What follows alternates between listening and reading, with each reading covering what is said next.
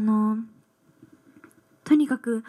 あの自分でいいのかっていう気持ちがすごくあってあの右も左も分からなかったので不安でした。でも新海監督がアフレコのたびにあのなのかさんすごく素敵です。あのありがとうっていう風に何度も言ってくださってあのそのおかげでアフレコ乗り切ることができました。ねよく走る子だなと思ってます。あの動きアクション的な意味でもあのその気持ち的な面でもあのあまり後先考えずに突っ走ってしまうところがあるのが彼女の魅力だなと思って私にはない部分なのですごく羨ましいなと思います若いとあのぐらい走れるんじゃないですか